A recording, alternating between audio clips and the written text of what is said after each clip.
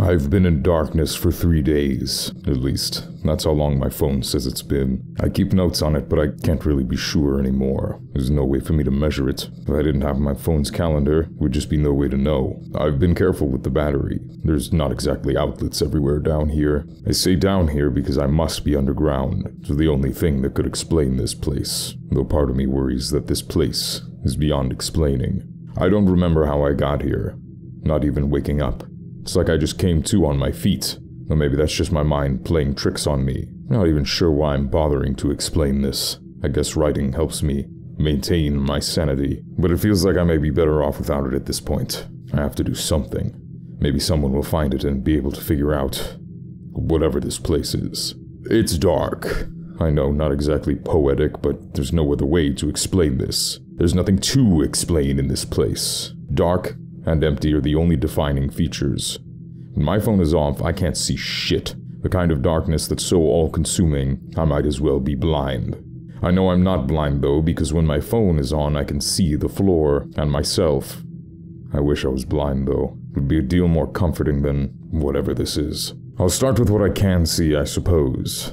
I seem to be what you would expect from anyone jeans, sneakers, a t shirt, a denim jacket, and sunglasses of all things. Had my phone in my pocket, keys, nothing else, not even a wallet. That's all fairly normal, save my missing billfold. What's weird is what's around me, or rather, what's not around me. The surface I'm standing on seems to be made of concrete. It's too level to be natural, would have to be man made, but even that feels wrong to say. Smooth stone, that's it. When I say that's it, I mean that's it. It's a goddamn void. If I point my light up, nothing. Left, nothing. Right, nothing. Behind, nothing. It's just more of this damn flat rock. This whole thing would be easier to swallow if there was something, anything. Boulders, rocks, a locked door, anything. Then I could at least assume I was just trapped somewhere. That would at least make sense. It's the lack of anything that gets me. No ceilings, no walls, no features, just dark and empty. I've walked a good bit, even ran for a while in an attempt to come across some landmark or object to orient myself, but I haven't found anything. I had my light on for a time, but there's nothing to find, nothing to see, so I turned it off. I have my phone set to ultra power save mode where it gets real basic and reduces its functionality to that of a flip phone. I do want to keep it alive as long as I can. It's comforting in a way. It's the only thing I have. I tried to make phone calls, and that got about as far as you could expect. Nothing. At least this place is consistent. Texts don't send either. No service, no data. Go figure. If I'm being honest, I don't recognize my contacts anyways. I have mom and dad labeled, but the pictures, these are just people I don't know. I even had to use the camera to see what I looked like, and to see if they really are my parents. They look close enough, I guess. There's a few other names in here, but again, I don't recognize any of them. Foreign faces and meaningless names. I remember some things. I remember there being anything. I remember dogs, cable TV, cars, the store, highways, lakes. I remember things, but not who I am. Of all the times and places to have amnesia, I can't think of a worse one. I looked through some of the text threads I had with people. There wasn't much. Apparently, I was going to watch a baseball game with someone named Frank. Seems like we were friends. Looks like I was sweet with a girl named Lisa.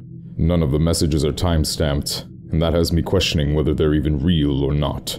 But I guess I have to assume they are for now. Most of the conversation is pretty shallow.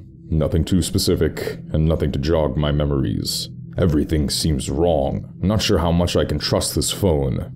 It says I've been here three days, and I don't have anything to disprove that. But I'm not thirsty, and I haven't drank anything. So either this clock is wrong, or I've lost the need to hydrate. Both seem equally likely given the circumstances. Come to think of it, I haven't seen my phone battery budge in a long time.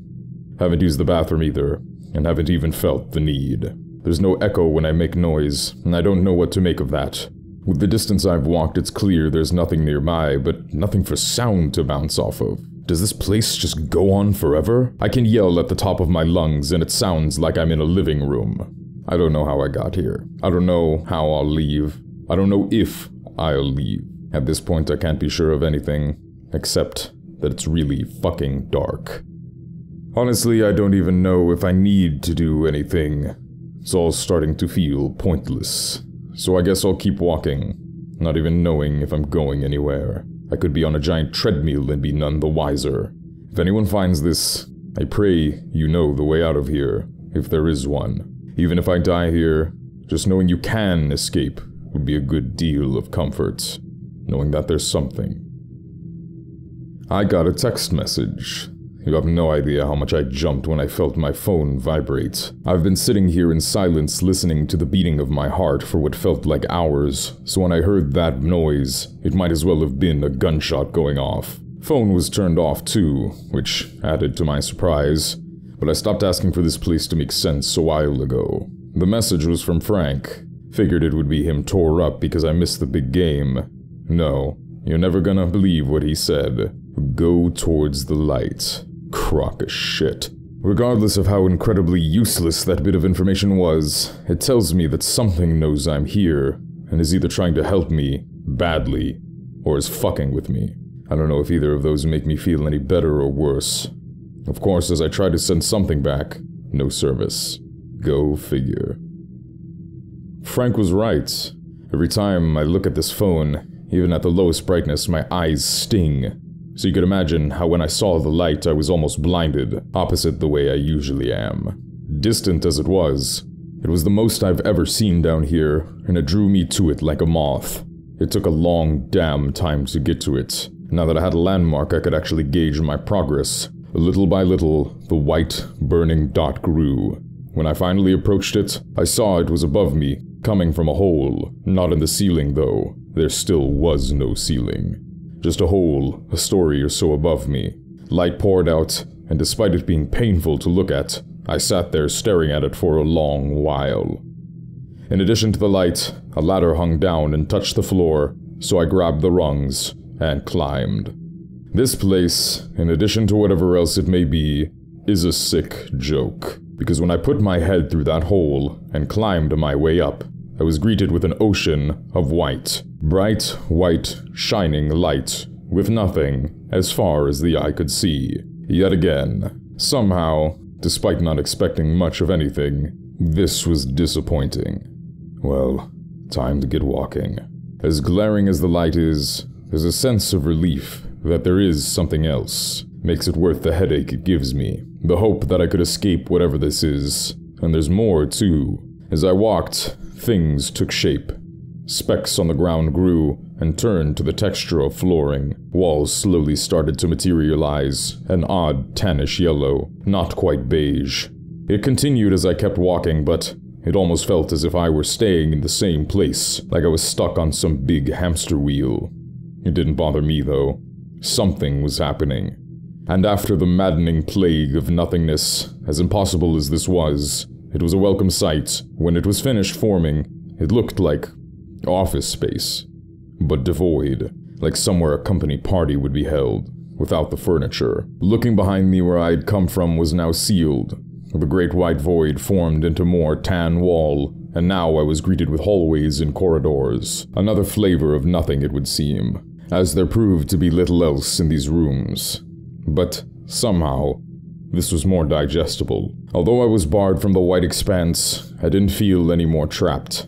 It was relieving to have something in between me and that place, really.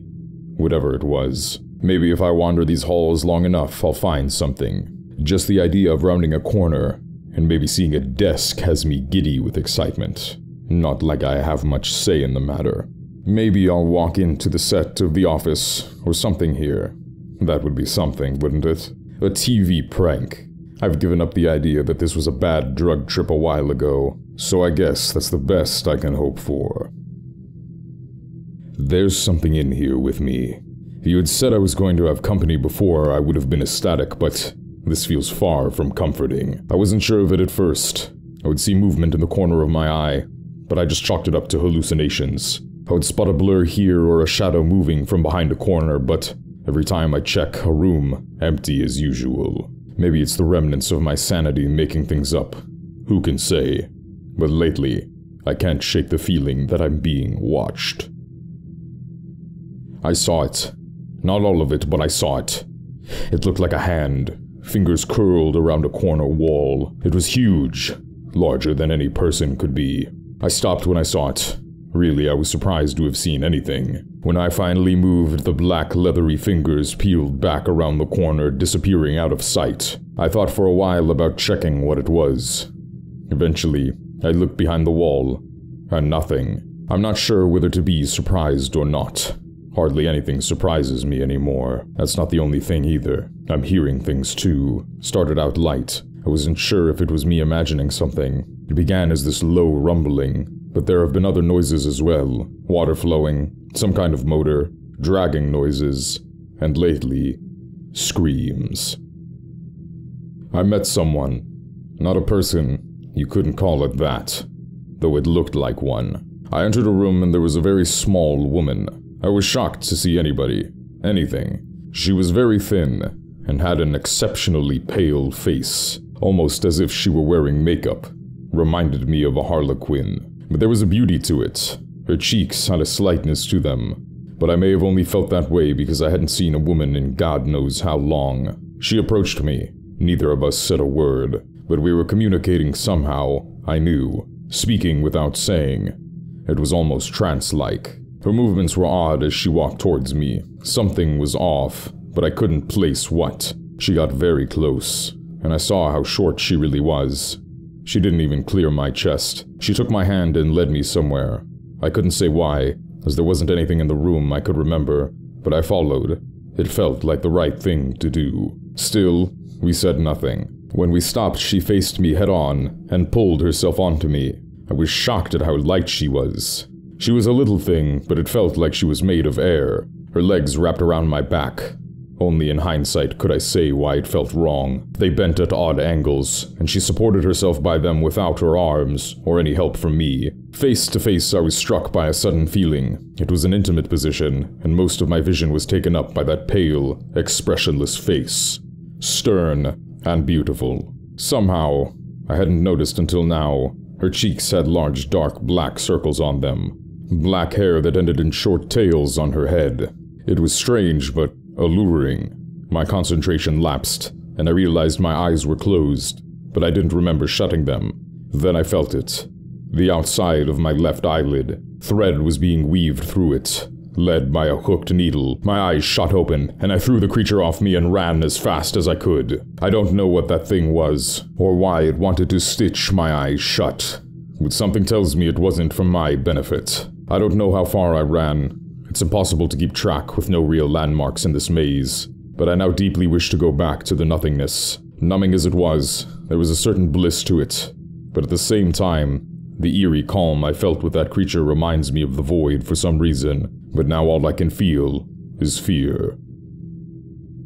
Things are starting to appear. At first, it was miscellaneous office junk desks, chairs, filing cabinets, all sporadically placed. As I went on, they started to appear together. One room even had full cubicles set up, but there wasn't much past the surface level. As I wandered, I heard a familiar noise, I couldn't quite place it. Mechanical and repeating. God, it was a printer. I followed the noise until I came upon the thing, hard at work making copies. It was in the middle of the room, not visibly plugged into anything. I walked up and checked the papers that were coming out. I flipped through the pages, same three words, repeated, one per sheet, over and over. Make it stop. Cliche, I thought to myself. It had a touchpad, so I started clicking through the settings. Words cannot describe how engaging this was. After so long doing nothing, something as mundane as going through printer settings was intensely exciting. Nothing too out of the ordinary, until I got to the files available to print.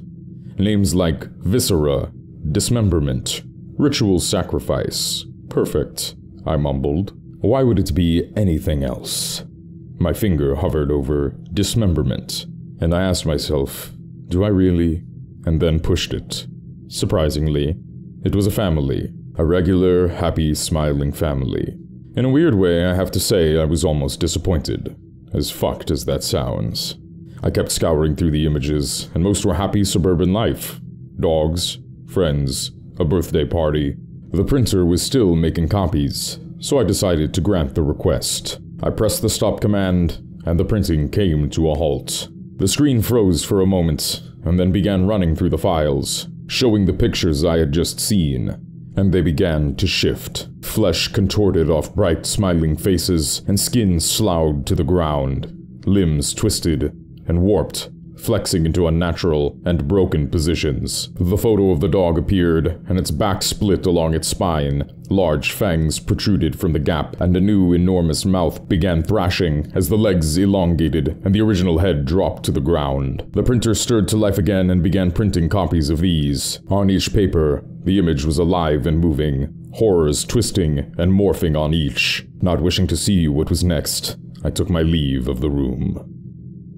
The sounds of the printer grew distant, and eventually I was overtaken with the same familiar silence I had grown used to. I wasn't sure if that was comforting or not. The space around me was still populated with standard office fare that grew closer to resembling an actual workspace the more I wandered. I considered how odd being lost in a maze of office space was. Not that any of this place was normal, but when all you have is time to think, you can't help but wonder why all this? I doubt it makes much difference. I'm still stuck here. The setting doesn't change that much. As I roamed through the desks and computer chairs, I heard another noise. It was a metallic banging, this repetitive slamming, then a pause, but there was something else muffled in between. I followed the noise and, after a series of hallways and doubling back on dead ends, I came to it. A large room with a metal door and a loud banging coming from behind it. Open this! Interlaced the banging, more slamming on the door, and then, Come on! Open the door! The door was sealed with a chain and padlock that shook violently as the door was pounded on. A large red sign was center on it reading, Do not open. I rolled my eyes. I knew I should probably be unsettled by this, but after everything that had transpired, a sort of apathy gripped me. I stared for a moment and said, Hello? It felt odd as I realized this was the first time I had said anything in quite some time. The pounding stopped, and there was a pause. Hey, open this door, I'm stuck in here. Open! I need to get out. I considered for a moment asking about the sign, before I came to the conclusion that I wouldn't get a good answer for that. Are you still there? Let me out of here. I gotta get out of here. Fuck it, I mumbled, and dug my keys out of my pockets, trying them on the padlock. One fit. The padlock and chain dropped to the floor heavy. The door began to creak open. Obviously, it was shut for a long time. And when it was all the way open, I was met with an empty room, because why would it be anything else? I poked my head in and glanced around. Nothing. Slowly, I stepped inside. As I came to terms with the space, Part of the wall opened to reveal a huge eyeball warping the paper. A row of sharp teeth opened to a grin underneath it, with uneven lashes jutting out in clumps. The same voice that called to open the door sounded from the thing. Thanks for opening the door. Yeah, don't mention it. Here, I have something for you. A way of saying thanks. The mouth widened, and at the base of the large tongue, there was some sort of gem. It was asymmetrical in an odd shape. I stared. The mouth closed for a moment, and the eye said, Be careful. My teeth are sharp. But don't worry. I won't bite. The maw widened again, revealing the rock. Dumbfounded, I slowly reached my hand into the void. I noticed how humid it was as I reached deep into the wall. It went farther back than it appeared. When almost my whole arm was in, I felt the rock on my fingers and quickly yanked my hand out. As my arm jutted back, my hand caught a fang, and a large gash opened across my palm. Ooh, that's not good, the eye said. Good luck. As it twisted and fell back into the wall, gone. Blood gushed from my hand in an unnatural amount, seeping heavily and increasing to a torrential outpour. I stared at my hand as crimson streamed from it. In seconds, I lost more blood than I possibly could have had in my body. It started to pool on the floor. I quickly squeezed my hand tight, and when I opened it again, the cut was sealed, but the blood on the floor continued to rise. It was up to my mid shin as I ran out of the room. Careening through hallways, my steps became more labored as the lake of blood was now up to my waist. I rounded a corner and spotted a set of stairs, charging up them with all of my might, darting out of the pool, soaking wet. As I reached the top, The welling blood slowed and ground to a halt. I paused to catch my breath, staring below me into the ocean of blood. I didn't even try to reason with the fact that it had come from inside me and did the only thing I could turn around and keep walking. As I continued down the endless hallways, I thought for a moment about this place, trying to decide if I missed the void or not. The horrors this place contained almost made me yearn for nothingness. I wasn't allowed a tremendous amount of time with these thoughts. Occurrences were growing more frequent, and soon I was met with a room containing a terminal and a large glass pane on the wall. This was the first window I had seen in this place. Unfortunately, it didn't lead outside, but simply provided a view of a two story room, half flooded with blood below. I looked at the terminal, and then stared at the rock I was given. Somehow I managed to hold onto it despite everything. Guess the adrenaline made me grip it tight. The terminal was just a metal stand with a shape that was obviously perfectly fit to the stone. Hesitant, as I remembered the last time I inserted a key into something, I quickly came to terms that there aren't exactly a whole lot of other options. I inserted the rock. A mechanical noise started, like gears turning. I looked through the glass into the room. Large cages lowered from the ceiling. Inside, there were human shapes, things that looked human, but had no features, twisted into panicked poses, and were lowered into the crimson pool. They made no moves, no sound, save the whirring of the machine. When the last of the cage was finally swallowed, the glass pane shattered, and the wall drifted away to dust. I was met with a set of stairs leading directly into the pool. Maybe it was an acceptance of the situation. Maybe there was something calling me to it. Maybe it was fate. But I took the steps down into the wretched lake. The sticky liquid was warm as it encompassed my body. One by one, I took the siren steps until I was completely submerged. I could still breathe and see. The ocean of red reminded me in ways of how I started here. There was a tugging sensation at the back of my neck. I reached back with both hands and pulled, peeling away my skin. It ripped as easily as paper and separated from me. With strength now, I tore the seal to my flesh, though it offered little resistance. Reaching up, I grabbed my scalp and removed what I found, peeling down to less and less. As I removed what was the outer shell and stepped out of myself, discarding the cloak that I wore, my eyes swam out of my skull on their own accord, turning back to witness myself. I gazed at my visage, skinless, eyeless, as the flesh began to contort. Bones bowed and snapped as sinew and meat rearranged itself. My skull split down the middle, and following the whole of my body was torn in half, only to be rearranged in a grotesque and magnificent new form. Tissue crawled with its own intention as my eyes floated in what felt like soup. To what shape I took, it is impossible to describe. The bones reformed and the flesh resituated to a new being, a new shape. But it is illusory. For how long I will stay like this, no one can say. The flesh has its own will, its own motives, and I now bear witness to my own actions as a stranger, a spectator from afar. I still walk the halls, though not of my own accord. To what end, it is impossible to say. The flesh, a writhing mass, bleeding, twisting, bending, cracking, sliding and snapping, an ever morphing hulk of viscera made manifest to roam with an indescribable purpose. Perhaps one day I will witness myself come upon someone like myself. Maybe not. Only time will tell.